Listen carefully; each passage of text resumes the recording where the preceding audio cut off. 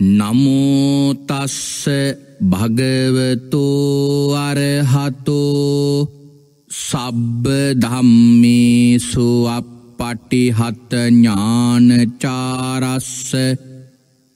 දස බලදරස්ස චතු වේසාරච්ච විසාර දස්ස සබ්බ සත්තුත්තමස්ස ධම්මිස්සරස්ස ධම්මරාජස්ස ධම්මත්සාමිස්ස තතාගතස්ස සබ්බඥුනෝ සම්මා සම්බුද්ධස්ස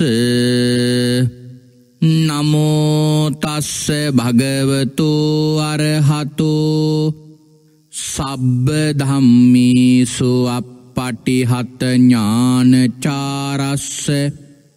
දස බලදරස්ස චත්තු වේසාරච්ච විසාර දස්ස. සබ්බ සත්තුත්තමස්ස ධම්මිස්සරස්ස ධම්මරාජස්ස ධම්මත්සාමිස්ස. තතාගතස්ස සබ්බඥුනෝ සම්මා සම්බුද්ධස්ස නමෝතස්ස භගවතු අරහතු සබ්බ ධම්මිසු අපපටිහත ඥානචාරස්ස දස බලදරස්ස චතු වේසාරච්ච විසාර දස්ස සබ්බ සත්තුත්තමස්ස ධම්මිස්සරස්ස ධම්මරාජස්ස ධම්මත්සාමිස්ස තතාගතස්ස සබ්බඥුනෝ සම්මා සම්බුද්ධස්ස උතුම්මෝ භාග්‍යවතුන් වහන්සේට මාගේ උතුම් නමස්කාරය වේවා. ධම්මස්වාමී ලෝකස්වාමී. භාග්‍යවතුන් වහන්සේට අයිති ධර්මයක් දේශනා කරන මේ වෙලාවේ මාගේ මුවින් වැරදි වචනයක් පිට නොවේවා මිත්‍යාදෘෂ්ටික වචනයක් පිට නොවේවා මගේ අදහසක් ධර්මයට විරුද්ධව පිට නොවේවා උතුම් වූ භාග්‍යවතුන් වහන්සේගේ සත්‍යමෝ බුද්ධ වචනය භාග්‍යවතුන් වහන්සේ සතුටු වෙන ආකාරයට දේශනා කරන්න මට ශක්තිය ලැබේවා. ඒ සඳහා සියලු ආර්යන් වහන්සේලාගේ අනුග්‍රහය ලැබේවා. සියලු සත්පුරුෂයන් වහන්සේලාගේ අනුග්‍රහය ලැබේවා. සියලු ශාසනාරක්ෂකයින් වහන්සේලාගේ අනුග්‍රහය ලැබේවා. හැම දෙනාටම භාග්‍යවතුන් වහන්සේගේම ධර්මය අවබෝධ කරගෙන උතුම් චතුරාර්ය සත්‍ය ධර්මයම අවබෝධ කරගනිත්වා. සාධූ සාධූ සාධූ සද්ධර්මශ්‍රවනා බිලාසී කාරුණික ගුණගරුක පින්වත්නී අද දවසේදී මේ පින්වත් හැම දෙනාම මේ වෙලාවේ බලාපොරොත්තු වන්නේ භාග්‍යවත් අරහත් සම්මා සම්බුදුරජාණන් වහන්සේ විසින් ඔබෙත් මගෙත් නිවන පිණිස මහා කරුණාවෙන් දේශනා කොට වදාළ ස්වාසූ දහසක් ධර්මස්කන්ධයන් අතරින් ඉතාමත්ම වටින ධර්මකාරණාවක් ශ්‍රවණය කරන්නටයි. හද මේ උතුම් වූ සද්ධර්ම දේශනාව පිඟත් ඔබ හැම දෙනාගේම ජීවිතයට නිර්වාණාව බෝධී පිණිසම හේතුවෙන්න ධර්මකාරණාවක් බවට පත්වෙනවා. එනිසා ධර්ම ගෞරවය හදවතෙහි තබාගෙන අපි හැම දෙනාම ධර්මශ්‍රවණය සඳහා සම්බන්ධවෙමු. අපි මේ දවස්සල සාකච්ඡා කරගෙන යනවා බොහොම විශේෂ ධර්ම මාතෘකාව. ලෝතුරා සම්මා සම්බුදුරජාණන් වහන්සේ නමකට පමණක් පාන්නට පුළුවන් යමක මහා ප්‍රාතිහාරයයි අපි මේ දේශනා කරගෙන යන්නේ. අපි මේ වෙනකොට දේශනාවල් තුනක් මේ වෙනුවෙන් සිදු කරපු දේශනාවල් තුනක් නිමා කරලා තියෙනවා. අද ඒ සම්බන්ධයෙන් සිදු කෙරෙන හතරවෙනි දේශනාව. අපි මේ වෙනකං සාකච්ඡා කරලා තියෙනවා භාග්‍යවතුන් වහන්සේ තීර්ථකයන්ව දමනය කරන්න ගණ්ඩප්ප රුක්ෂමූලේ යමහමහමා පෙළහර පෑමෙන් මොන අරමුණු නිසාද කියලා. රජගහනුවර එක්තරා සිටුවරේ අභියෝගයක් කරනවා සඳුන් පාත්තරයක් හදලා උනලීයක හිටවලා ඒ උනලීය මුදුනය පාත්තරේ තැම්පත් කරලා යම් රහතෙක් ඉන්නවනං මේ රජගහනුවර එරදියෙන් ඇවිල මේ පාත්‍රය ගන්න කියලා. මුලින් තීර්ථකයෝ එනවා නමුත් ඒ තීර්ථකයන්ට ඉරදිපාණ්ඩ හැකියාවක් නෑ මොකද වංචාවෙන් ජීවත්වෙන නිසා. මේ කාරණාව නිසා තීර්ථකයන්ට පාත්තරේ ගන්න බැරිවුණ ඔවුන් නින්දාවට ලක්වුණා ඉන් අනතුරුව පින්ඩෝල භාරද්වාජ මහරහතන් වහන්සේ ඉර්දිීන් වැඩම කරලා පාත්‍රය ගත්තා. ඒ වෙලාවේදී භාග්‍යවතුන් වහන්සේ පින්ඩෝල භාරද්වාජ මහරහතන් වහන්සට මේ කාරණා පිළිබඳ නින්දා කරලා දොස් කියලා විනය ශික්ෂා පදයක් බවා පනවනවා. ඉන් අනතුරුව අන්‍ය තීර්ථකයෝ බුදුරජාණන් වහන්සේ ප්‍රධාන ශ්‍රාවකයන්ට අභියෝගයක් කළා. මොකක් නිසාද මේ අභියෝගය කළි. අන්‍ය තීර්ථකයොයි වෙලාවේ බොහෝ නින්දාවට ලක්වෙලා හිටිය තමන්ට ඉර්දි ප්‍රාතිහාරය පාන්න බෑ කියලා. නමුත් භික්‍ෂූන් වහන්සේලා දැන් එරදි ප්‍රාතිහාරය පාන්නේ නෑ කියන එක තීර්ථකයෝ තහවුරු කරගත්තා. මොකකින්ද භාගතුනහසේ පනොපු ශික්ෂාපදී නිසා මොකද දන්නවා බුදුරජාණන් වහන්සේ යම් ශික්ෂාපදයක් පනවනවනං ඒ පනවන ශික්ෂාපදිය ජීවිතයේ ගියත් භික්‍ෂූන් වහන්සේලා කඩන්නේ නෑ කියලා. නමුත් බුදුරජාන් වහන්සේ ප්‍රකාශ කරනවා බිම්බිසාර මහරජතුමාට මහරජ තීර්ථකයන්ට භික්‍ෂූන් වහන්සේලාට පනෝපු විනි ශික්ෂාපද භාග්‍යතුන් වහන්සේට අදාලනෑ කියලා. එනිසා භාග්‍යතුන් වහන්සේ ප්‍රාතිහාරය පාන්න තීරණය කළා. භාග්‍යතුන් වහන්සේ මේ ප්‍රාතිහාරය පාන්නේ සැවැත් නුවර දකුණු වාහල් කඩ අසල ගණ්ඩබ්බ කෙන රුක්ෂ මූලේ ළඟ. මේ වෙලාවේදී භාග්‍යවතුන් වහන්සේ ප්‍රාතිහාරය පාලන් නිමහ වෙලා ඉන් අනතුරුව උන්වහන්සේ ආවර්ජනය කරල බලනව අතීත බුදුරජාණන් වහන්සේලා මේ ප්‍රාතිහාරය පාලති පාල මොකද්ද කරලා තියෙන්නේ කියලා. අන්න ඒ විලාවේ උන්වහන්සේ දකිනවා තෞතිසා දෙව්ලොවට වැඩම කරලා මාතෘ දිවිරාජ්‍යයා මූලික කරගෙන අභිධර්ම දේශනාව කරනවා කියලා. භාග්‍යතුන් වහන්සේ තෞතිසා දෙව්ලෝට වැඩම කළා. ඒ වැඩම කරපු ආකාරයත් ඒ අසිරියත් හරිම ආශ්චාරයයි. භාග්‍යතුන් වහන්සේගේ ධ්‍යාන විශේහි අචින්ත්‍ය භාවයත් ඉස්මතු කෙරෙන වැඩම කිරීම. භාග්‍යතුන් වහන්සේ මේ මහපොළොවිඳලා තෞතිසා දෙව්ලෝට වැඩම කරන්නට පියවර තබන්නේ පියවරවල් දෙකයි. භාග්‍යතුන් වහන්සේ එතනදි පැහැදිලි කරනවා පිඟතුරි ධර්මය නොයෙක් තැන්වල සඳහන් කරලා තියෙනවා. අපේ භාග්‍යතුන් වහන්සේට නොයෙක්වර නොයෙක් ජීවිතවල මේ පාරමිතා පුරණ ජීවිතවලදි පවා පිංත්නී භාග්‍යතුන් වහන්සේට මේ ස්වභාව ධර්මය තුළින් එවගේ බොහෝ අනුග්‍රහයක් ලැබුණු බව. අපේ භාග්‍යවතුන් වහන්සේ සසරේ පාරමිතාපුරණ ජීවිතවලදි පවා පිංහතුනී මේ සභාව ධර්මීන් අප්‍රමාණ අනුග්‍රහයක් ලබල තියෙනවා නොවෙක් ජීවිතවල. එහෙම ජාතක කතා පාලිය පෙරලල බැලුවෝත් ඒ ජාතක කතා පාලියේ බොහෝ තැන් සඳහන් කරලා තියෙනවා භාග්‍යතුන් වහන්සේට බෝධිසත්ව කාලයේදී උපද්‍රව ඇතිවෙන තැන්වලදි පවා ඒ උපද්‍රවයන් නැතිකරන්ඩ අනුග්‍රහ ලැබිච්ච අවස්ථා.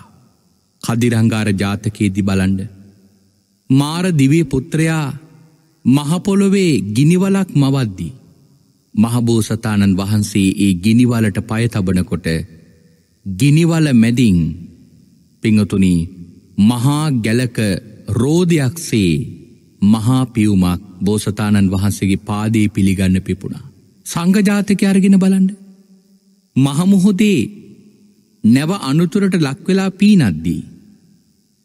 එහෙම පීනනකොට පිඟතුනි මනි මේ කලා නම්මෝ මේ දිව්‍යංගනාව නැවක් මවලා මහබෝසතාණන් වහන්සේව ඒ නැවේ දෝතට අරගෙන ගිහිල්ල තැබවා. ගුත්තිල ජාතකේ සායින ජාතකේ නිමි ජාතකේ වැනි ජාතකවලදී.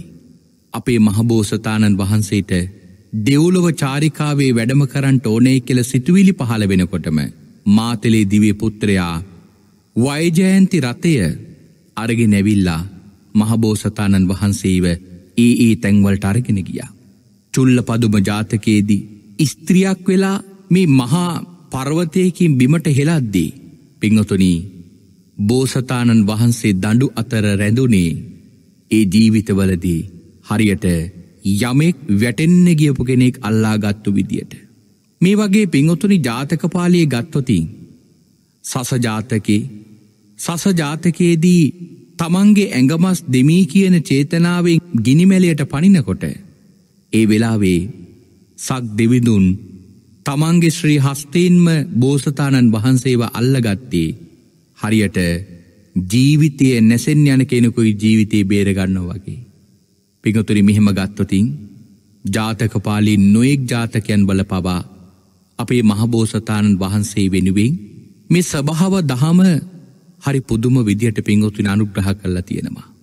ඒකයි සඳහන් කළේ බෝධිසත්ත පාරමිතාපුරණ ජීවිතවලදි පවා එවන් අනුග්‍රහයක් ලබපු සාරා සංකෙ කල්ප ලක්ෂයක් පුරාවටම සමතිස් පාරමී සම්පූර්ණ කරලා ලෝතුරා සම්මා සම්බුද්ධරාජ්‍ය ලබාගත්තු අපේ භාග්‍යවතුන් වහන්සේට මේ පරවත දෙකෙන් ලැබිච් අනුග්‍රහය නම් ඉතාමල් පනුග්‍රහය.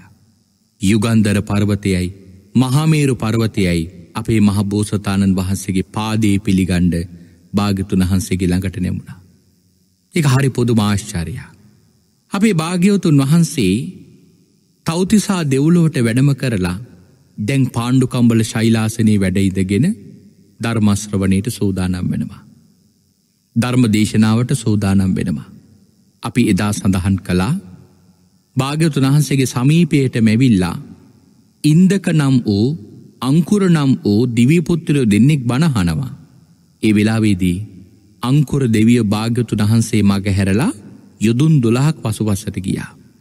භාග්‍යතු දහන්සේ විශේෂ කරුණක් ඉස්මතු කරවන්ඩ ඕනේ කියලා අංකුර දෙවියන්ව තමන් වහන්සේගේ ළඟට කතා කරලා ගත්තා. කතා කරලහනවා.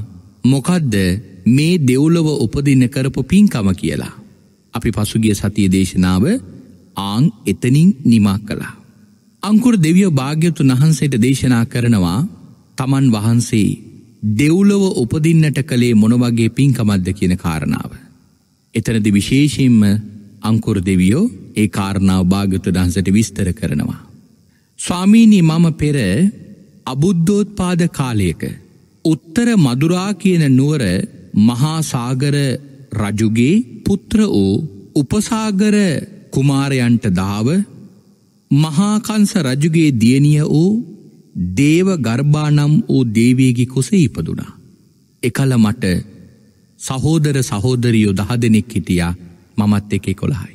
පිරිමි දරුවෝ දහ දෙනයි එක ගැහැනු දරුවයි. අංජනය වසුදේවය බලදේවය චන්දදේවය සුරියදේවය අග්ගිදේවය වරුණදේවය අජ්ජුනය පජ්ජුනය ගතපණ්ඩිතය කියල සහෝදරයෝ නම දෙනෙක් හිටියා. අංජන දේවිය නම් සහෝදරයක් හිටියා අංකුර කුමාරයා තමයි බාලම සහෝදරයා. රාජකුලේ උපන් මොවුන් සුදුසු වයස ආවයින් පස්සෙදී පිංහොතුනී ద్వාරවති කියන මේ රට යුද්ධ කළ අල්ලගත්තා. මින් නුවර මින් රට ඉතා විශාල රටා. දැන් ජම්බුද්ධීපිය කියන මේ භූමි ප්‍රදේශය ගත්තොතින් පිකතුර අපි කතා කරනමී ඉන්දියාවටම නෙමේ ජම්බුද්ධීපය කෙල කියන්නේ. ඉන්දියාව සෝවියට් රුසියාව ඉස්පාන්‍ය හිමාලය කියන මෙන්න මේ තනි මහත්දීපයටම තමයි ජම්බුද්ධීපය කෙල කියන්නේ. ඒ ජම්බුද්ධීපේ විශාලත්තය යොදුන් දහදාහයි. ඒකෙන් සඳහන් කළ තියෙනවා යොදුන් තුන්දාහක හිමාලය තියෙනවා. යොදුන් හාරදාහක ජලය තියෙනවා. තවත් යුදුන් තුන්දාහකයි මනුස්සවාසස්ථාන තියෙන්නේ. භාග්‍යතුන් වහන්සේ මෙන්න මේ හඳුන්නපු ජම්බුද්ධීපයේ විශාල රාජ්‍යයක් තමයි ධ්වාරවතී කියෙන රට. ඒ රට මේ සහෝදරය යුද්ධ කල්ල තමන් තමන් සතු කරගත්තා. රාජ්‍ය පාලනය සඳහා දහ දෙනා ඒ රට කොටස් දහයකට බෙදාගත්තා පාලනය කරන්න. ඒ වෙලාවේදී ඔවුන්ට මතක් වුණා අනි අපිට තව සහෝදරයක් ඉන්නවනේද කියලා.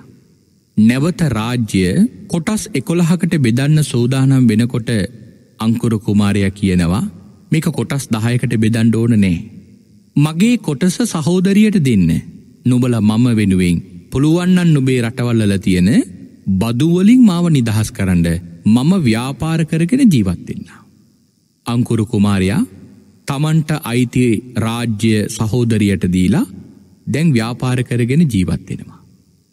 මේ අංකුරු කුමාරයගේ ළඟ හිටියා බහන්්ඩාගාර පාලනයට එක්තරා දාසයේ ඔහු බොහෝම පැහැදීමින් අංකුරු කුමාරයත් එක වාසය කළේ. මේ දාසයට එක්තරා කාන්තාවක් විවාහ කල්ල දුන්නා. ඔහුට දාව එක පොතෙක් ඇය බිහි කලා පුතා උපන් දවසෙම අර්දාසය මරණයට පත් වනා. එතැන් සිට ඔහුව බලාගත්තේ ඒ දාසයගේ බිනිඳ සහදරුව බලාගත්තේ අංකුර කුමාරයා. ඔවුන්ට ධනයදීලා ඔවුන්ව රැක බලාගත්තා. පුතාට සුදුසු වයස එනකොට ඔහු ඒ රාජ්‍ය ජීවත්වෙන්න බැහැ කියලා ඒ අසල තිබිත් චෙක්තරා රටක බේරුව කියල නගරයට ගියා. මේ බේරුව කියන නගරේ රෙදිමහන කොලයක එමනැත සන්නාල කොලයක එක්තරා කාන්තාවක් විවාහ කරගෙන ඇයත් සමග රෙදිමහමින් ජීවත් වුණා. රෙදිමහන ජීවිතය කියන්නේ පිංහොතුන ඉතාම දුප්පත් වෘතිය. මේ බේරුව කියන නගරි හිටියා පිංහොතුනී අසයිහ කියලා එක්තරා සිටුවරේ මේ සිටුවරයා ඉතාම ධර්මිකයි. සිටුවරය කොච්චර ධර්මිකද කියල කියනවනම් තමන්ගේ මාලිගාවේ හැමදාම දුගී දුප්පතුන්ට දානයක් පූජා කරනවා. දුගී දුප්පතුට දානයක් පූජා කරනවා. පිංහතුනී දවසක් එක්තරා දුගියේ අසයිහ සිටුවරයගේ ගෙදර හොයාගෙන නගරෙ හැමතැනම ඇවිදිනවා. අර සන්නාලයට ඒක දකින්න ලැබුණා. ඒ දුගිය ඇවිල්ල සන්නාලයාගෙන් සිටුවරෑගේ ගෙදරට එන පාර අහනවා. ඒ වෙලාවේ සන්නාලයා තමන්ගේ දකුණු අත දිගු කරලා සිටුවරෑගේ ගෙදරටන පාර කියනවා. ඔහුගෙන් මග අහගෙන සිටුවරෑගේ ගෙදරට ගිය. පිංහතුනී සන්නාලය නිකං හිටියනේ තමන් කරගත්තු පින තමන් අනුමෝදං කරගත්තා. මොකද තමන් කරගත්තු පින එක දුගියෙකුට සිටුවරෑගේ ගෙදරට යන පාර පෙන්නවා ඒ මග අහගෙන ඔහු ඒ ගෙදරට ගිහිල්ලා තමන්ගේ කුසගින්න එදා දවස නිවාගත්තා. මෙන්න මේ මග පෙන්වපු පින පිංුතුනට සන්නාලය අනුමෝදන් කරගත්තේ. මම අද මිහිම පින්කමක් කලා මගේ මම කරපු ඒ පින්න මගේ සසරට උපකාරවේවා කියලා අධිෂ්ඨාන කරගත්තා. පින්වත්නී මේ කාරණාව පිංහොතුන අති විශේෂ කරුණා. ඒ සන්නාලයක් කාලයාගේ ඇවෑමෙන් මරණයට පත්වෙලා පිංහතුනී ඊළඟ භවයේ වැලි කාන්තාරයක යොදුනක් ඔස යොදුනක් දිගපලල තියෙන මහානුගරුක්ෂයක වෘක්ෂ දෙවෙක් වෙලා ඉපදුනා. හැබැයි කරපු පින්කමේ ආනිසංසය පිංහතුනී දිවිය ආත්ම භාව ඉපදිලා නතර වුණේ නෑ. තවත් විපාක දුන්නා. කොහොමද විපාක දුන්නේ. ඒ දිවියපුත්තරයාගේ දකුණු අත දිගු කරලා දිවියපුත්තරය යමක් ප්‍රාර්ථනා කළොත් ඒ ප්‍රාර්ථනා කරපු දේ තමන්ට ඉෂ්ට වෙනවා. දිවිපුත්‍රයා පාත්‍ර ප්‍රාර්ථනා කරනදී තමන්ට ඉෂ්ට වෙනවා. යමක් ඉල්ලනවනං අත දිගුකරට ෂනයෙන්ම ඒදේ පහළ වෙනවා. බලන්න පිංගොතුනී අපටත් සතුටු සිතින් අනුමෝදං වෙන්නට පුළුවන් මහපින්කමා මේ කාරණාව. ප්‍රඥාවන්තයගේ බාල වූ අඥ්ඥානයගේ වෙනස හරි අපූරුවට පැහැදිලි කරන අවස්ථාව. ඒ විතරක් නෙවෙයි. පිංහතුනී මේ සිටුවරයගේ ගෙදර හිටියා සිටුවරයගේ ව්‍යාපාර කටයුතු කරපු එක්තරා පුරුෂයේ. පිංහතුනි මේ පුරුෂයා සිටුවරය දන් දෙනවට ඉතරම් මනාපයක්නේ. ඔහු දැඩිව මිත්‍යාදෘෂ්ටිගත්තු කෙනෙ. ඔහු සිටුවරයා දන් දෙනකට දැඩිසේ විරුද්ධයි. හැබැයි පිංහතුනි මේ සිටුවරයා ඔහුගේ පඩියෙන්වත් ඔහුට පඩි නොදීවත් යාගෙනන්න කෙනෙක් දෙවී. ඔහු කරන සේවයට සිටුවරයා පඩි දෙනවා. නමුත් ඒ සිටුවරයට පින්ඔතුනී දන් දෙනවට මේ පුරුෂයාකමැති. කොහොම දකම ඇත්ත. ගෙදරට යාචකයෙක් ආවොතින් ඒ යාචකයාගේ දිහා නපුරු ඇහැකින් බලනවා. බොහොම භයානක රූපමවාගෙන භයානක විදියට අර එන දුගීමගේ යාචකයන්ගේ දිහා බලනවා. ඒ විතරක් නෙවෙයි මුහුණෙන් නපුරු විදියට ඔවුන් දිහා බලනවා. යමක් ඉල්ලනකොට අත් දෙක ඇගිරිටික මිටි මොලවල අත් දෙක පිටු පස්සර තියාගන්නවා. පිංහතුනී බාල වූ අඥ්ඥාන වූ ස්වභාවේ තියෙන මිනිසුන්ට වෙන කරමය මේ කතාවෙන් හරි අපූරුවට විග්‍රහ කල්ල තියෙන මභාග්‍යතුන් වහන්සේ. කාලයාගේ ඇවෑමින් ඔහු මරණයට පත්වෙලා පිංහතුනි වැලි කාන්තාරයකම අසුච්චි ප්‍රේතෙක් වෙලා ඉපදුනා. කොහොම දසුචි ප්‍රේතයෙක් වුණේ. ඇස්වලින් අසුචි ගලනවා. මොකක් නිසාද අර මිනිසුන්ගේ දිහා නපුරු විදියට බලපු නිසා. මේ මුළු මුහුණේම පනුවන් කඩාගෙන හැලෙනවා. මොකක් නිසාද අර මිනිසුන්ගේ දිහා නපුරු විදියට බලපු නිසා. ඇගිලි ටික කොරවෙලා අත් දෙක වකුටු වෙලා දෑත් දෙක එකට එකතු කරලා කිසිම දෙයක් පින්ඔතුනී අහරට ගණ්ඩ ඒ ප්‍රේතියට පුළුවන්කමක් නෑ. දැඩි කුසගින්නේ දැඩි පිපාසයෙන් ඔහු වැලි කාන්තාරයකට වෙලා කාලය ගත කරනවා. මේ අවස්ථාව පින්ඔතුනි මංහිතනවා ඔබාප හැම දෙනාටම අතිශයීම හිතන්නට පුළුවන් මාතෘකාව. මොකක්ද සසරේ මෙන්න මේ කාරණාව හරියට වටහාගත්තොතින් පිංහතුනි මේ කාරණාවත් ඇති කෙනෙකුගේ ජීවිතේ ප්‍රඥාව උපදව ගන්න. මොකද මේ ප්‍රඥාව උපදව ගන්නව කියල කියන්නේ. පිංහතුනි බුදුරජාණන් වහන්සේ දේශනා කරලා තියෙනවා නවේ කදරයා දේවලෝකං වජන්ති බාලා හවේ නප්පසංසන්ති දානා. කවදාවත් තද මසුරා දෙව්ලව යන්නේ නෑ. මොකද බාලය කවදාවත් දානය කිරිහි පහදින්න ඇති නිසා. අර ප්‍රේතයා සිටුවරයගේ ගෙදර ජීවත් වනේ. සිටුවරයක් ඔහුට ඔහු කරන සේවයට වැටුපක් ගෙව්වා. නමුත් ඔහුට කොච්චර පින්කරගන්න අවස්ථාවක් උදා වෙලා තිබරණ දේ ගෙදර ඉඳගෙන. අඩුගානි තමන්ගේ ධනී වියදන්න කරත් තමන්ගේ ශ්‍රමශක්තිය හරි වියදන් කරලා නමුත් පිංහතුනී ඔහු කරගත්ති මහා දරුණු අකුසල කර්මයක්. නමුත් අර සන්නාලය අරගෙන බලන්න ඒ සන්නාලයා දුගියෙකුට සිටුවරයගේ ගෙදරට යන මඟ පෙන්වල ඒ මඟ පෙන්වප පිනයි ඔහු අනුමෝදන් කරගත්තේ. අනේ මම අද එක දුගී මනුස්සේකුට කුසගිනි නිවාගණ්ඩ සිටුවරයගේ ගෙදරට එන මඟ පෙන්වල අනේ මම අද පිනක් කරගත්තා.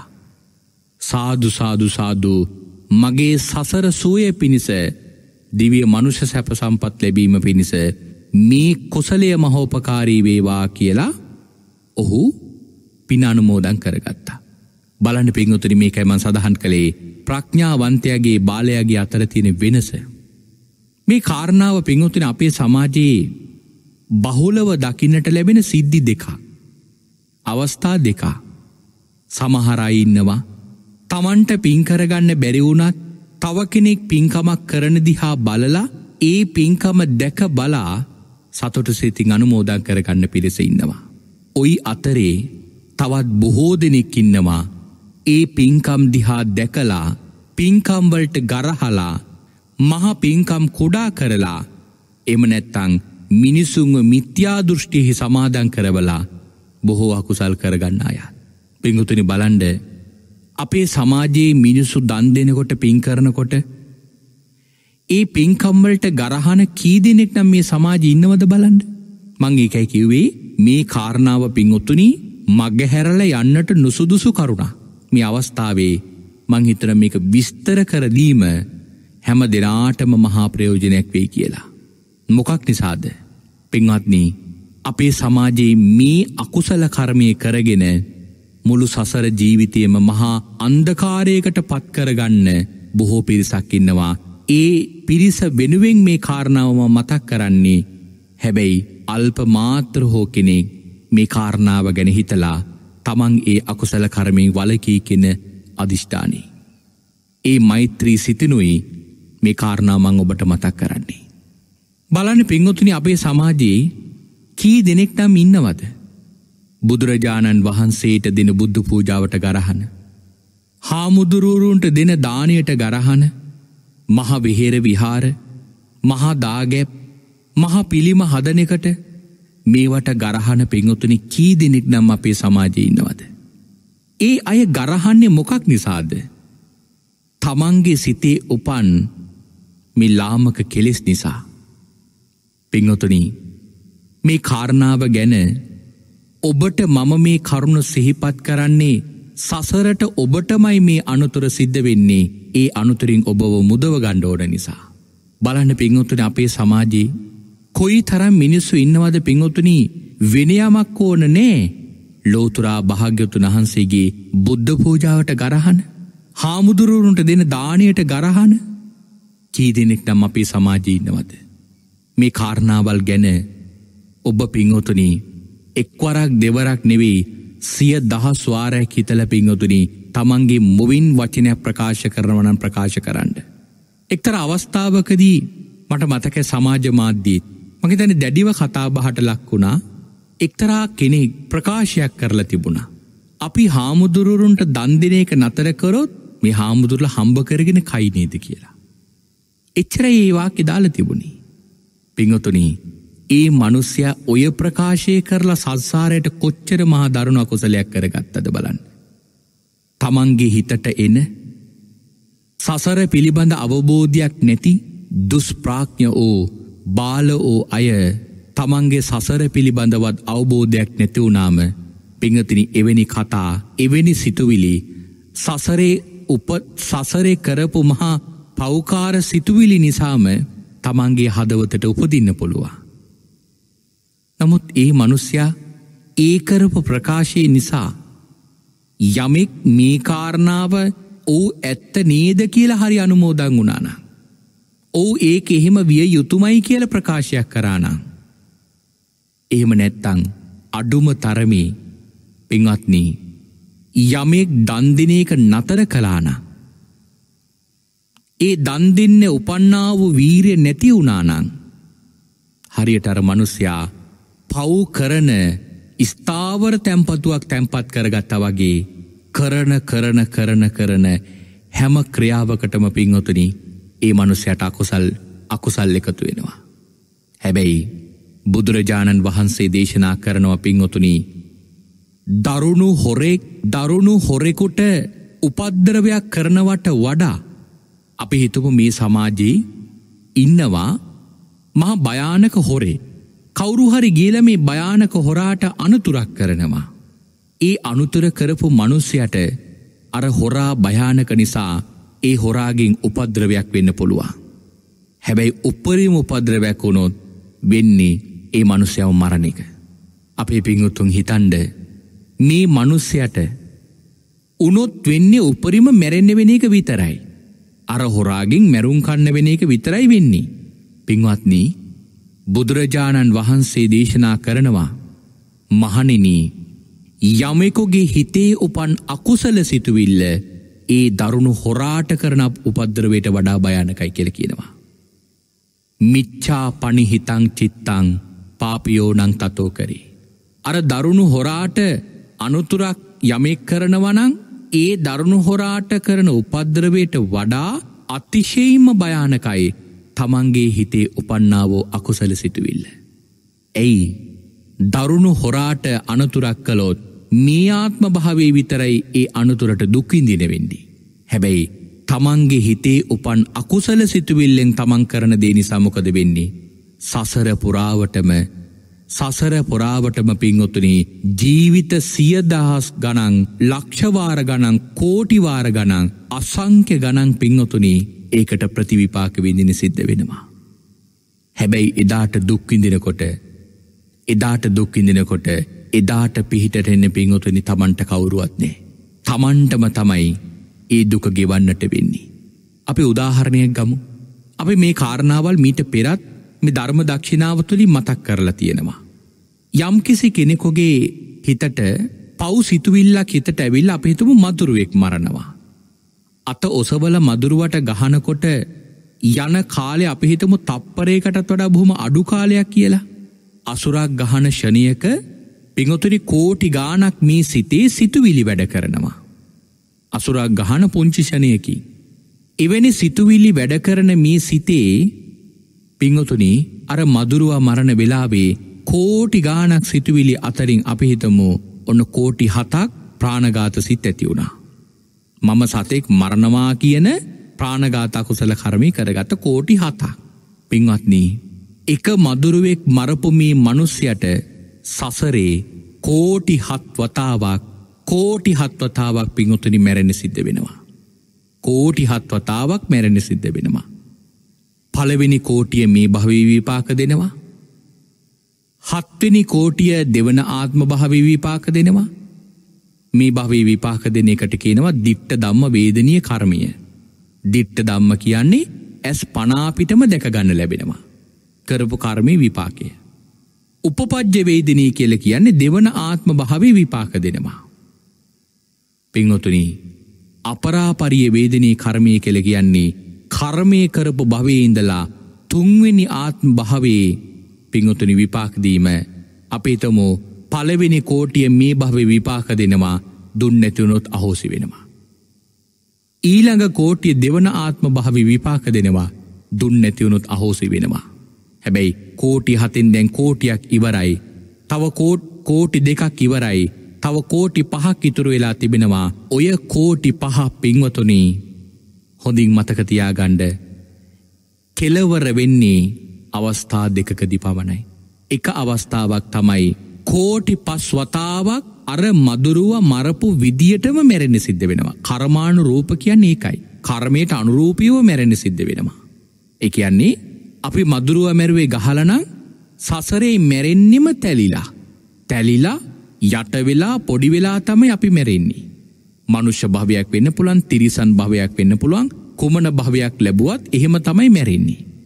පිංහතුනී සසරේ කෝටි පස්වතාවක් නිවන්දකිනකම්ම කෝටි පස්වතාවක් එක්කෝ ගිවල ඉවර කරන්න වෙනවා එහෙම නැත්තං ඊට කලින් නිවන් දැක්කොතින් ඒ කරමය නැතිවෙලා යනවා. එතොට හිතන එක මදුරුවෙක් මරලා ඔච්චර කාලයක් පින්ුතන අපට විපාක විදිනි සිද්ධ වෙනවා. ඒක නැර සමහර කතාවල්ල සඳහන් කළ තියෙන්නේ එක එල්ලුවෙක් මරලා මෙපමණ ජීවිත ගණනක් මැරෙන සිද්ධ වුණා. එක තමයි කර්මි ස්වභාවය. ඒකයි මෙතර සඳහන් කළේ තමන්ගේ හිතේ උපන්නා වූ අකුසල සිතුවිල්ල තමන්ම නසනවා ජීවිත කෝටි අසංකි ගණනා තමන්ට දුක්විපා කළ බල දෙන. මෙන්න මේ කාරණාව පින්ඔතුනී පව් සිතුවිල්ලක් හිතට ඉපදෙන කොටම ඔබ මතක් කරන්න. තමන්ට සමාජයෙන් තමන්ට මේ රටින් තමන්ට නීතියෙන් ඕන තරං පින්ඔතුනි අසාධහරණකම් වෙන්න පුළුවන්. හැබැයි එහෙම අසාධහරණක්කම් වෙනවනං ඒ වෙන්නෙත් තමන්ට සංසාරාකුසල කරමයක් නිසාමොම්ම තමයි. හැබැයි ඒ කාරණාව හරියට වටහාගන්න නැතුව ඒ අසාධහරණකමට ප්‍රතිවිරුද්ධව කරන්න ගීල අකුසල් වැඩුනොති. ඒකෙ කර්මයක් පිංඋතුනි තමන්ට එකතු වෙලා අර සියලුම කර්ම පිංඔතුන එකට ගෙවන්න සිද්ධ වෙනවා. එනිසම් මේ කාරණාව ඉතාම සිහි බුද්ධියෙන් පිංඔතුනය ඔබ අවබෝධ කරගන්නට ඕන. මඟර කලින් මතක් කලා වගේ පිඟුතරි පින්කම්වලට ගරහන කී දෙනෙක් නම් අපේ සමාජීන්නවද.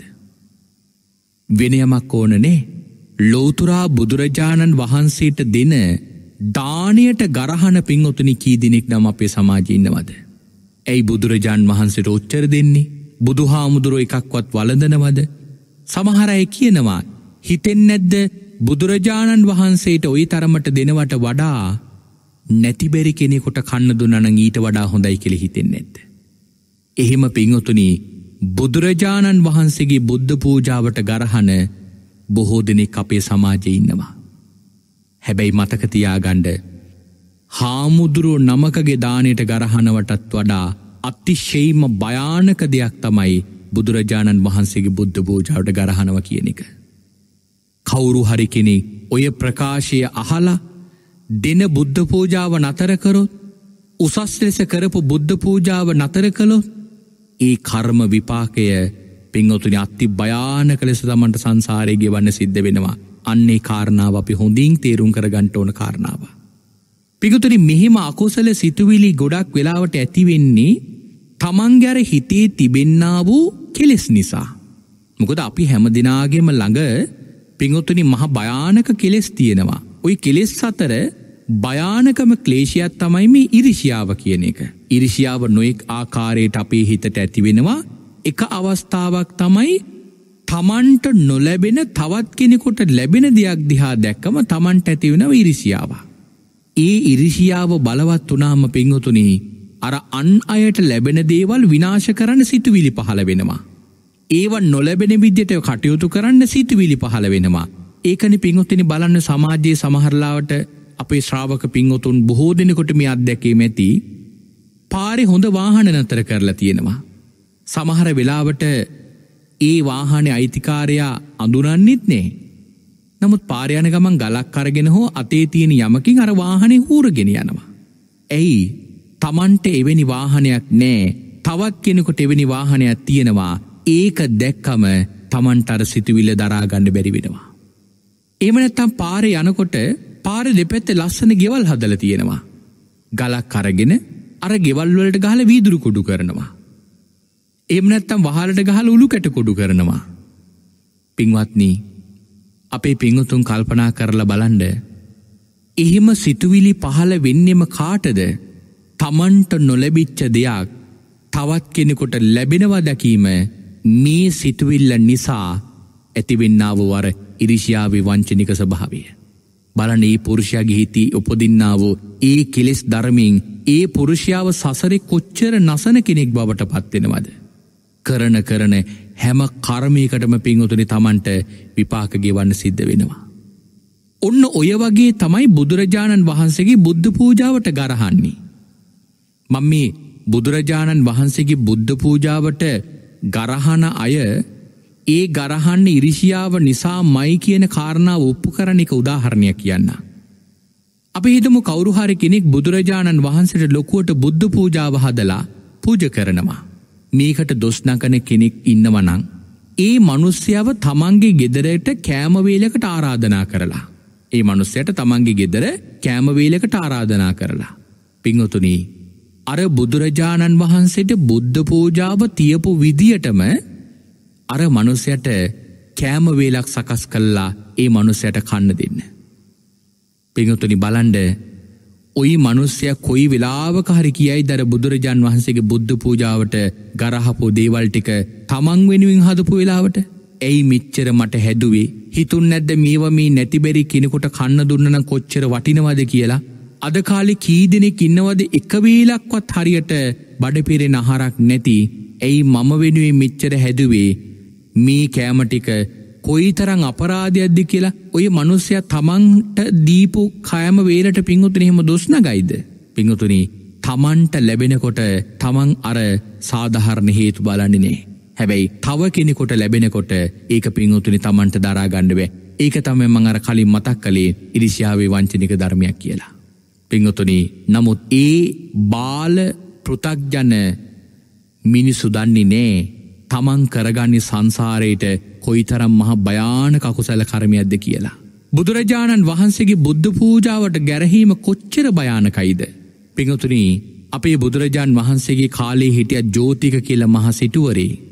මේ ජෝතික සිටුවරයා විපස්සේ බුදුරජාණන් වහන්සේට එක දවසක් මැනික්වලින් කොටියක් හදල පූජ කරනවා. විපස්සි භාග්‍යවතුන් වහන්සේ මේ කොටිය බාරගන්න වඩින විදියට ඇවිල්ලා උන්හන්සේ කොටියලඟ වැඩඉන්න ඇතුළට වඩි නැතුව සිටුවරය කියන ස්වාමිනය ඔබහන්සේ වෙනුවෙන්මයි මේක හැදුවේ බාරගන්න කියලා. ඒ වෙලා භාගතුනාන්සික අදහස දැනගත්තෝ එක ශ්‍රාවකය කැවිල්ලා සිටුවරයට කියනව සිටතුමනි ඔබ හිතන් දෙපා කියනවා බුදු හාමුදුරමේ මැනිකොටිය තියෙන එක මැනික් ගලක්වත් රකීවි කියලා. ඇයි එහෙම කිව්වේ එහෙම පොරුන්දු කරව ගත්තේ බැරි වෙලාවක්කත් ඔය කුටිය බුදුහාමුදුරු වැඩඉන්නකොට පින්වතුනිද මුළු කුටියම මැනික්වලින් හදල තියෙන්නේ. කවුරු හරි මනුස්සෙක් ඇවිල්ලා අර කුටිය තියෙන මැනික්ගල් ටික ගලවගෙන ගියෝති. පිකුතුරි එහෙම කරන්න පුළුවන් අය ඕන තරගින්නවා. අපේ ලංකාවෙ තියෙන මහ විශාල චෛත්‍යයක කොත් කැරැල්ලෙ පලදල තිබුණ මැනි පිංහතුරේ ගල තිබිච්ච මැනික් ගලවගෙන ගිහිල තියෙනවා ඒ කොත් කැරල්ලට නැගලා. එහෙමයි ඕන තරන් ඉන්නවා. බයනේ. පාපයට බියක් නෑ තන්හාවීට වඩා බලවත්.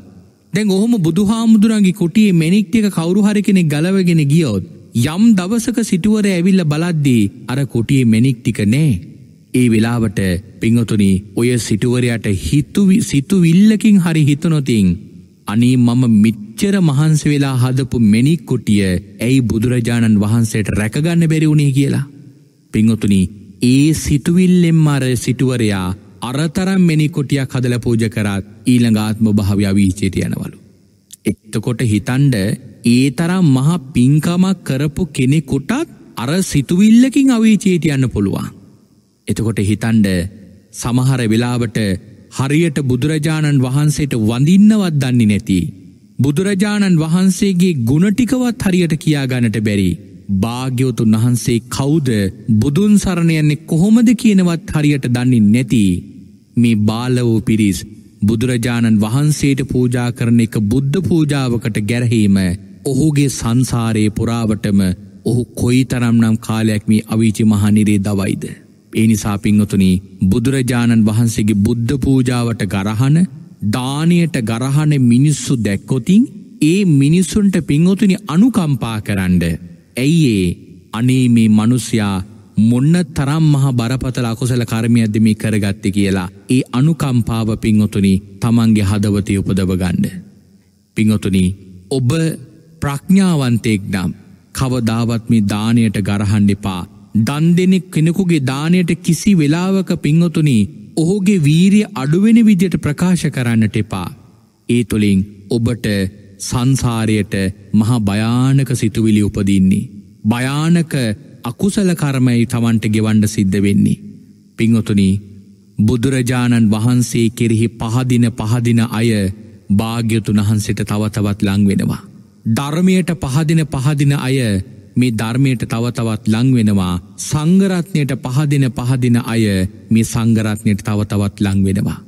මේ කාරණාවල් හරිහැටි නොදන්න අයයි පිංහොතුනි මේ තැන්වලට ගරහන්නේ. නොයෙක් අකුසල කර්ම කරගන්නේ. පිංහොතුනී අපේ සමාජයේ ඉන්නවා බුදුරජාණන් වහන්සේ කෙරි අප්‍රමාණ ශ්‍රද්ධාවෙන් භාග්‍යවතුන් වහන්සේට පුදු පූජා පවත්වන අය. එක උදාහරණයක් සඳහන් කරනවනං මම අමතර කාරණාවක් මතක් කරන්නේ ඔබගේ මේ ප්‍රඥාව තවටිකක් වර්ධනය කරගණ්ඩ.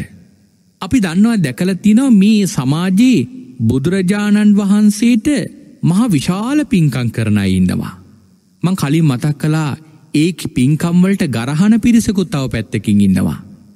පිංහතුනි ගරහන පිරිසවෙච්ච ඔබ මතකතියාගණ්ඩ භාග්‍යවතුන් වහන්සට මේ මහ පින්කං කරන්නේ මෙ තමන්ට වඩා ප්‍රඥාව අඩුවයිනන් නෙවෙයි. පිංහතුනේ බුදුරජාණන් වහන්සේ කිරිහි මනාගෞරවයක් තියෙන භාග්‍යවතුන් වහන්සේ කිරි අප්‍රමාණ පැහැදීමින් කටයුතු කරන පිරිසයි පිංහතුනි. ඒ ගැන තමන්ට වඩා ප්‍රඥාවක් තියෙන ඇය පිංහතුන හෙම මහ පින්කං කරන්නේ. ඒක සඳහන් කරනවනං පිංහතුනි භාග්‍යවතුන් වහන්සේ දේශනා කරලා තියෙනවා යෝ දම්මං පස්සති සෝමං පස්සති. යමෙක් ධර්මය දකිනවනං ඔහු මාව දකිනවා. දැම යමෙක් ධර්මය දකිනවනං ඔහු මාව දකිනව කියල කියන්නේ සමහර දෙනෙක් මේ ප්‍රකාශය අර්ථකතනය කරලා තියෙන බුදු හාමුදුරුව කියල තියෙනවලු මේ තමන්ට පුද පූජා පවත්ව පවත්ත තමන්ගේ පසු පසෙන්නේ නැතුව මා කියපු මේ ධර්මය පස්ස යන්න මා පසු පස එන්න එපා කියල වගේ අදහසක් අර්ථකථනය කරනවා. පිංහතුනී බුදුරජාණන් වහන්සේ කවදාවත් එහෙම කියලනේ. භාග්‍යවතුන් වහන්සේ මේ ප්‍රකාශයෙන් එදා වක්කලි හාමුදුරන්ට පෙන්නුවේ මොකක්ද. බුදුහාමුදුරුවන්ගේ ගුණයක්වත් දන්නේ නැතුව බුදුරජාණන් වහන්සේ කෞුද කියලා හරියට වටහාගන්නේ නැතුව මේ බුදු රුවදිහා බලාගෙන හිටිය කියලා ඒකෙනාට ලොකු ප්‍රයෝජනයක් ඒ තුළින් ලැබෙන්නේ නෑ. පින්වත්නී බුදුරජාණන් වහන්සේගේ ගුණ දැකගෙන භාග්‍යතුන් වහන්සේ දිහා බලාගෙන ඉන්නවනං ආන්න ඒ කෙනාට පිංහතුනි හිතා ගණ්ඩවත් බැරි මහා වටින කුසල කර්මය කෙනාගේ ජීවිතයට ලැබෙනවා. එක උදාහරණකින් කියනවනං දැන් මේ ධර්මය තුළින් බුදුන් භාග්‍යවතුන් වහන්සේ දකින්නේ කොහොමද. ධර්මය තුළින් අපි භාග්‍යවතුන් වහන්සේ බලන්නේ කොහොමද කියන කාරණාව අපි පිංහතුනී ඉතාම හොඳින් වටහාගතයුතු කාරණාව. මගේ උදාහරණයක් කියන්න ඔබට මේ කාරණාව තේරුම් කරගන මේ මගේ ඥානයට වැටහෙනි විදිිය උදාහරණයක් සමහරලාට කෙලින්ම මේ කාරණාවට ගැලපෙනව නොවෙන්න පුළුවන්. නොපේ තේරුම් කරගන්න කියන්නේ. මට ඕනකමක් තියෙනවා විහාරයක් හදාගන්න. ඒකට මම බාසුන්නහ කෙනෙක් හොය හොඉන්නකොට මගේ දායක මහත්මික් මට ඔන්න බාසුන්නහ කෙනෙක් මොන ගස්සවනවා. මේ බාසුන්නෙහි ඔබ වහන්සේගේ වැඩේට ගැලපෙනෙම කෙනෙක් කියලා අර මනුසේ මනුස්සය පිළිබඳ මට වටිනකමක් දෙනවා. නමුත් කොහොමද පිංහොතනි මම් තේරුම් කරගන්නේ මේ බාසුන්නෙහි තමයි මගේ වැඩේට ගැලපෙන එකම කෙනා කියලා. ඒ විලාවර බාසුනෙහි මට කියනවා ස්වාමීන් වහන්සේ ඔබ වහන්සේට මම කවුද කියලා හරියට තේරුම් කරගන්න නං. මම කවුද කියල දකින්න නං අන්න අර අසවල් අසවල් පන්සල් ටික ගිහිල බලන්ඩ ඒ පන්සල්ලලි විහාර ඔක්කෝම හැදුවේ මම ඒ විහාර බැලුවම උබහන්සේට මම කෞුද කියල තේරේ දැම් මම අර විහාරටික බලනවා ඒ විහාර දිහා බැලුවම මට ඒ විහාරවල් වල නිර්මාණවලින් පේනව කාවද තේරෙනව කාවද අරබාසුනෙහි. එතකොට මම අර දායක මහත්තය කියපු වචනට වඩා වැඩි යමක් අර බාසු නැහැ පිළිබඳ මම අවබෝධ කරගන්නවා. අන්න ඒ වගේ තමයි පිංහතුනී බුදුරජාණන් වහන්සේ අපි උපත්තිං බෞද්ධූ පමණින් අපි කොඩාකාලේමී ඉඳලාම අපි පන්සල් ගියා දහම් පාසල් ගියා කිව් පමණින් ඒ ප්‍රමාණයට වඩා ධර්මය කියවන්ඩ කියවන්න පිංහොතුනී බුදුරජාණන් වහන්සේ කෞුද කියන වග වැටයන ප්‍රමාණීට වඩා වැඩි. පිංහතුනි එහෙම වැටහෙන වැටහෙන අය ධර්මී ගැඹුරට ගැඹුරට යන්ඩ යන්ඩ භාග්‍යවතුන් වහන්සේ කෙරෙහි ලංගෙන සභාවේ වැඩි. ධර්මී සඳහන් කරලා තියෙන්නේ යම්කිසි කෙනෙක් පෘතක්්‍යන භාවෙන් ශ්‍රද්ධාවෙන් ඉහලටම යනවන. ඒ කෙනාට බුදුරජාණන් වහන්සේ පිළිබඳ පිංහතුනි උන්වහන්සේගේ බුදුගුණවල ගැඹුර බඹ නමයක් තේරෙනවා. යමෙක් සෝවාන් වුණොත් තවත් ධර්මී ගැඹුරට හදාරල සෝවාන් වුනොත් ඔහුට බුදුගුණවල ගැඹුර බඹ දහයක් තේරෙනවා. තවත් කෙනෙ අපිහිතුම තවත් ගැඹුරට යනවා සකදාගාමී වෙනවා ඒ සකදාගාමීන් වහන්සට බුදුගුණවල ගැඹුර බඹ විස්සක් තේරෙනවා. රහත් වෙනකොට බඹ හතලිහක් තේරෙනවා. පිංහතුනේ ධර්මය අවබෝධ කරගෙන අවබෝධ කරගෙන ඇතුළට යන්ඩ යන්ඩ ඒ කෙනාට මේ භාග්‍යවතුන් වහන්සේ පිළිබඳ වැටහෙන ප්‍රමාණය පිංහුතුනීට වඩා වැඩි. ඒ නිසාමයි ධර්මී සමහර තැනක සඳහන් කරල තියෙනවා රහතන් වහන්සේලා කවදාවත් ප්‍රසිද්ධියේ බුදුහාමුදුරන්ට වන්දනා කරන්නේ නැහැලු පුද පූජා පවත්වන්නේ නැහැලු. මොකද ශ්‍රද්ධාව වැඩි නිසා අප්‍රකටවලු භාග්‍යවතුන් වහන්සේට පුද පූජා පවත්වන්නේ. එතරම් බලවත් ශ්‍රද්ධාවක් පිංුතුනි රහතන් වහන්සේට තියෙන නිසා. එතකොට සද්ධාවෙන් උපරිම තැනට ඉහලට යන්ඩ යන්න ඒ කෙනා භාග්‍යවතුන් වහන්සට කරන පොද පූජා හැම පැත්තකීම පිංහුතුනි වෙනස් වෙනවා. අපි ලංකාවෙත් එහෙම බොහෝ දෙනෙක් අද ඉන්නවා. අපි එහෙම තැන් ස්ථාන දැකලත් තියෙනම ඇස් දෙකින්ම. සමහර වෙලාවට පිංහොතුනී ලංකාවේ අපි දකිනවා සමහර ගෙවල්වල. තමන්ට පුළුවන් විදිට බුදු හාමුදුරු වන්දනා කරනවා. ලෑලි කෑල්ලක් බිත්තිය කෙල්ලලා ඒ මත භාග්‍ය බුදු පිළිමිය තැන්පත් කළ කුඩාවට බුදු හාමුදුරුව වඳිනවා. එහෙම නැත්තං කොංක්‍රීට් කනුවක උඩලෑල්ලක් තියලා ඒ මත බුදු පිළිමයක් වඩම්මෝල බුදු හාමුදුරුව වඳින වඳිනවා. එහෙම බුදුරජාණන් වහන්සේට සත්කාර සම්මාන කරන රටේ අද වෙනකොට මේ දේශනාවල් වලින් බුදුගුණ අහලා බුදුරජාණන් වහන්සේ පිළිබඳ දැනගෙන පිංොතුනි මිනිස්සු බුදුරජාණන් වහන්සට කොච්චර ලංවෙලා තියෙනවද කියල කියනවනං අරවගේ බිත්තියක පොඩි කොටසක් බුදුහාමුදුරන්ට වෙන්කරපු රටේ දැන් මේ වෙනකොට පින්ඔතුනි තමන්ගේ ගෙවල්වල එක කාම්බරයක්ම භාග්‍යතුන් වහන්සට වෙන්කර පිස්ථාන තියෙනවා. මුළු කාම්බරයක්ම බුදුරජාන් වහන්සට වෙන් කරලා. ඒව නිකම්ම වෙන් කරලා නෙවේ සමහර ගෙවල්ල කාම්බර වායු සමීකරණය කරලා උසස්ම විදියට පිංොතුනි භාගතුන් වහන්සට පුද සත්කාර කරනවා. මගේ මේ ඇස් දෙකටම බොහෝ තැන් දැකල තියෙනවා. පිංහතුනි ඒ අය බුදුරජාණන් වහන්සේට කරන පුදපූජා දැක්කම පිංහොතුනි අපටත් පුදුමාකාඩ ශ්‍රද්ධාවක් ඒ පුද පූජා දැක්කම හිතෙන්නේ. ම එක උදාහරණයක් ඔබට සඳහන් කරන්න. දවසක් මම එහෙම ශ්‍රද්ධාවෙන් ජීවමාන සංඥාවෙන් භාග්‍යවතුන් වහන්සේට පුදපූජා පවත්වන නිවසකට වැඩම කලා. පිංහතුනි හිතාගණ්ඩ බෑ බුදුරජාණන් වහන්සේට කරන පුද පූජාටික දැක්කම. කාලය බොහෝ ප්‍රමාණයක් නැතිනිසාමං කෙටියෙන් ඒ භාග්‍යවතුන් වහන්සේට කරපු එක පූජාවක් ගෙන ඔබට මතක් කිරීමක් කරන්න. පිංහතුනී ගෙදර මහත්මයා භාග්‍යවතුන් වහන්සේට සුවඳ පූජාවක් කරනවා. කාම්බරයට ඇතුල් වෙනකොට දොරට තට්ටු කරලා හරිට බුදුහාමුදුරු ඇතුළෙ ඉන්නවා අපි බුදුරජාණන් වහන්සේගේ කුටියට එනවා කියෙන සංඥාව දක්වනවා. කාම්බර ඇතුළට ගියපු ගමම්ම කරන්නේ පිංහතුයි සුවඳ බෝතල් ගොඩක් තිබුණා දැන් අපිට සාමාන්‍යෙන් අද කාලේ බුදුරජාණන් වහන්සේට පූජා කරන්නේ සුවඳ කූරක් හඳුන්කූරක් කියලා අපි කියන්නේ. නමුත් ඇත්තට මෝක හඳුන්කූරක් නෙවේ හඳුන්කූරනං හඳුන්ගහි අරටුව වෙන්ඩ ඕන. නමුත් අද හඳුන්කූර හදන්න කොහොමද කිය අපේ පිංහතුන් දන්නවා. පිංහතුනී එහෙම සුවඳ පූජා කරන රටේ මේ ගෙදර කොච්චර ශ්‍රද්ධාවෙන් භාගතුනාන්සට පුද පූජා කරනවද කෙළ කියනවනං සුවන්ද බෝතලුයි පූජා කරන්නේ. සුවඳ බෝතලයක් ගත්තා අරගෙන බුදුරජාණන් වහන්සේගේ මේ කාම්බරේ දොරේ ජනෙල්වල උළුහව්වල මේ තැන්වලට සුවඳ විහිදගෙන ගියා අපි ගැන ස්ප්‍රේ කරනවා කියලා සුවඳ විහිදවගෙන ගියා. මං ඇහුව ඇයි එතකොට කිව්වා මේ දොරවල්වලින් වාතය එනවා බුදුරජාණන් වහන්සේගේ ශරීරය වදිනවා. ඒ එන වාතය සුවන්ද මිශ්‍රවාතයක් භාගතුන් වහන්සේ ගැඟට වදින්න ඕන නිසයි මේක කරන්න කෙළකිවා. ඊළඟට ඒ බෝතලේ පැත්තකින්තල තව බෝතලයක් ගත්තා. ඒ බෝතලෙ අරගෙන භාග්‍යතු වහන්සේගේ වටේට පොලෝ පැත්තට වෙන්න ඉස්ප්‍රේ කරගෙන ගියා වටේටම වැඳගෙන. මඟව ඒක මොකටද. මේ බුදුරජාණන් වහන්සේගේ පාදක මුලටයි මං මේ සුවඳ පූජාව කරේ කියල කිව්වා. ඉළඟට තවත් සුවඳ බෝතලයක් ගත්තා. ඒ සුවඳ බෝතලේ අරගෙන පිංහොතුනි භාග්‍යවතුන් වහන්සේගේ සිරසට ඉහලින් උඩට වෙන්න සුවඳ ස්ප්‍රේ කරා. ඒ සුවඳ බින්දු භාග්‍යවතුන් වහන්සේගේ බුදු සිරුර තවරාගෙන බිමට වැටෙනවා. හය දිසාවින්ම භාගතුන් වහන්සේට වටේට පැදකුණු කර කරමේ සුවඳ පූජාව කළා. මං හැවෝ ඒක මොකටද කළේ. භාගිතුන් වහන්සේගේ සිරුරටයි ඒ සුවඳ පූජාව කරේ කියල සඳහන් කළා. ඊළඟට තව සුවඳ බෝතලයක් ගත්තා. ඒ සුවඳ බෝතලය අරගෙන කාම්බරි හැම තැනකටම සුවඳ උඩට වෙන්න ඉස්සා. එතකොට මං ඇහවා ඒක මොකටද කළේ. මම හිතනව කිව්වා අතීතයේ වැඩහිටපු බුදුරජාණන් වහන්සේලත් මගේ පූජාව දකිින් නැති. මම අද කරන මේ පූජාව දකිින් නැති. අතීතේ යම්තාක් බුදුවරු වැඩහිටියනං ඒ සියල බුදුරජාණන් වහන්සේලාටයි මම මේ සුවඳ පූජාව කරන්නේ කියලා සඳහන් කළා. ඉළඟට තවත් සුවඳ බෝතලයක් ගත්තා.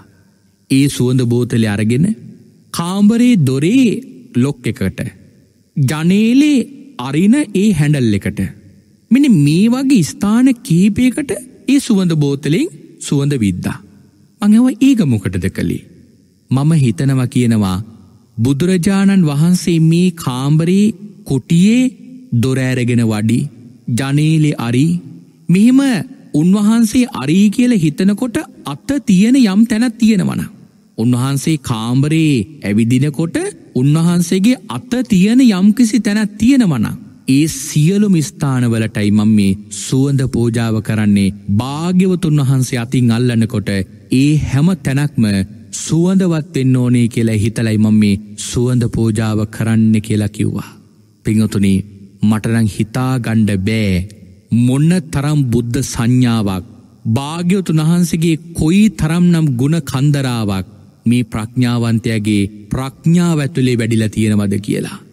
පිංහතුනි ඒ සුවඳ පෝජාව දැක්කමත් මගේ හිතේ භාගතුන් වහන්සේ පිළිබඳ පුද්දුම ශ්‍රද්ධාවක් හිතට ඇති වුණා. මම ඒ සුවඳ බෝතලයක් අරගෙන මටත් ආසහිතුනා මගේ කොටියෙත් එහෙම සුවඳ පූජාවක් කරන්න ඕන කියලා. සුවඳ බෝතලයක් අරගෙන මම එහි තිබෙන නමයි එහි මිලගනුනී දැනගන්න ඕන්නකමට ඡායාරූපයක් ගන්න බෝතලය කතට ගත්තා. පිංහතුනී අතටගත්තු බෝතල්වල අඩුන අඩුම වටිනකමත් තිබිච්ච සුවඳ බෝතලේ වටිනකම රුපියල් එකොළොස් දහස් පන්සීයයි. ඒ බෝතලේ පැත්තකින් තිවා මම හිතුවා ඊට වඩ අඩු වටිනකමක් තියෙන බෝතල් ඇති කියලා. ඒම එකක් ගත්තා. තවත් බෝතලය කතර ගත්තා ඒ බෝතලේ වටිනකම රුපියල් විසිහයදාහයි. මගේ මේ ඇස් දෙකෙම දැකපු දෙයක් මම මේ ඔබට සිහිපත් කළේ. පිංහතුනි මාසයක් විතරයිකුව ඒ ගෙදර බුදුරජාණන් වහන්සේටේ සුවඳ පූජාව කරන්නේ. හිතල බලන්ඩ බෝතල් සුවඳ බෝතල් හතර පහක් භාග්‍යවතුන් වහන්සේට ඒ තරමටම පූජ කරන්ඩ ඒ ශ්‍රද්ධහවන්ත ප්‍රඥාවන්තයාගේ හිතේ කොයි තරම්නම් බුදුගුණ ගොඩක් පිංගුතුනි වැඩිල ඇද්ද. එතකොට ඔබ කල්පනා කරලා බලන්ඩ බුදුරජාණන් වහන්සේට පූජ කරන සුවඳබෝතලේ ඔයි තරම් වටිනවනං ඔයි තරං උසස් විදිර සුවඳ පූජාව කරනවනං පිංහොතුනී භාග්‍යවතුන් වහන්සේට දෙන දානය කොහොමද කෙ ඔබ හිතල බලන්ඩ. උන්වහන්සේට දෙන දාන භාජන කොච්චර වටින වැද්ද කෙ ඔබ හිතල බලන්ඩ. බුද්ධ මන්දිරය කොයි තරම් වටිනවද කියලා ඔබ හිතල බලන්ඩ.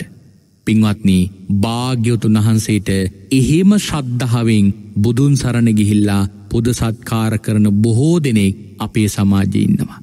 එනිසා මං මේ කාරුණික ඔබට මතක් කරන්නේ කවද්දාවත් එහෙම පූජාවකට සිතුවිලි මාත්‍රයකින්වත් පිංහතුනි ගරහන්නට එපා භාග්‍යවතුන් වහන්සේ කෙරෙහි අප්‍රමාණ ශ්‍රද්ධාවකින් ඒ පූජාදිහා දැකලා ඔබත් පින් අනුමෝදන් කරගණ්ඩ. ඔබ යම් අකොසලයක් කරොත් එක ඔබටම විපාකයක් ලැබේ යම් කොසලයක් කළොත් ඔබටම විපාක ලැබේ. අමතර කරුණක් මේ මතක් කරේ බොහෝ දෙනෙකොට මේ කාරණාවෙන් මංහිතනවා බොහෝ පලයක් ලැබේ කියන අරමුණ හිතේ දරාගෙන. එහෙමනං අද දවසෙත් අපි කාලේ නිමාවට පත්වෙලා තිබෙන නිසා දේශනාව නිමාවට පත් කරනවා. මේ උතුම් සද්ධර්ම දේශනාවෙන් ලගාකරගත්තා වූ උදාර කුසලානි සංස ධර්මයන්ගේ බලයෙන්. නෙත්නාලිකාවේ සභාපතිතුමන්ටත් සාමාන්‍යධිකාරතුමන්ටත් කාර්යමන්ලේපින්ත් හැම දෙනාටමත් මේ සියලු කුසල් අනුමෝදං වේවා. එවගේම මට මෙවන් උතුම් ධර්මයක් දේශනා කරන්නට දහම්මග කියා දෙන මාගේ ගුරුදේවයානන්ටත් මේ උතුම් ධර්ම දේශනාමේ උදාර කුසල ධර්මියෝ අනුමෝදං වී නිදුක් නීරෝගේ දීර්ගෞෂ සම්පත්තිය ලබත්වා. එවගේම මියගිය මාගේ මෑණියන්ටත් මාගේ පියාණන්ටත් මේ සියලොපින් අනුමෝදන් කරමි අනුමෝදන් වේවා.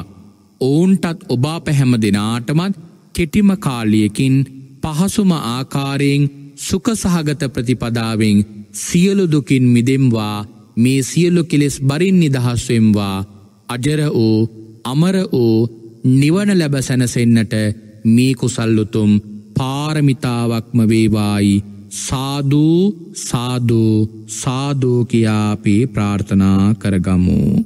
ආකාසට්ටහාචබුම්මට්ටහා දේවානාගා මහිද්දිකා පුඤ්ඥන්තං අනුමෝදිත්වා. චිරන්රක්කන්තු සම්මා සම්බුද්ධ ශාසනං. චිරන්රක්කන්තු සම්මා සම්බුද්ධ දේශනං. චිරන්රක්කන්තු සම්මා සම්බුද්ධ සාවකං